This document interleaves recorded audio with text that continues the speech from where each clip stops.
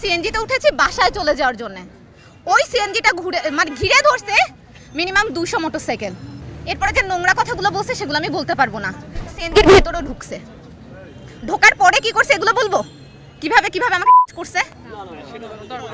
আমি ওখান থেকে নিয়ে গিয়েছে থানায়। শাহবাগ থানায়।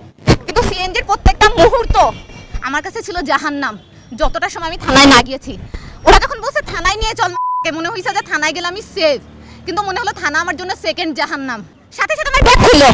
খুললো মানে এটা তো ও তো ইয়াবা খায়। ওর ওর ব্যাগে এগুলো কি পাইছে? আমার ব্যাগে ছিল একটা ওয়াটার পট দুটা মেকআপ তারা আমার ব্যাগ থেকে বের করল একটা ছুরি। আমি ছুরি কেন নিয়ে আসব? আমি তো বলে আসছি যে আমি আন্দোলনে যাচ্ছি। ভাইদের কাছে যাচ্ছি। ছুরি বের করল লাইটার বের করল, আরও কি কি বের করল? বের করে বলল আমি ইয়াবা খাই। আমার জোর করতেছে বলতে আমি নেশা করি আমি যে কারণে আসছিলাম আন্দোলনের জন্য আসছিলাম না? যদি আমাকে সম্মান দিতে হয়, প্রজ্ঞাপন যেন আমার এনে দেয়। আমার গা থেকে ট্যাগটা তুলে দেয়। আমার গা থেকে তুলে দিয়ে আমি আমি সাধারণ ছাত্রী এটা যেন বলে দেয়। আমি শিবির না, আমি জামাত না, এটা যেন তুলে দেয়।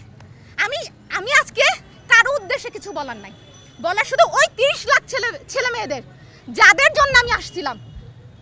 আর আমি তাদের জন্যই এখন চলে যাব। এই কোটার সাথে আমার কোনো সম্পর্ক থেকে। আমি এখন বাসায় চলে যাব।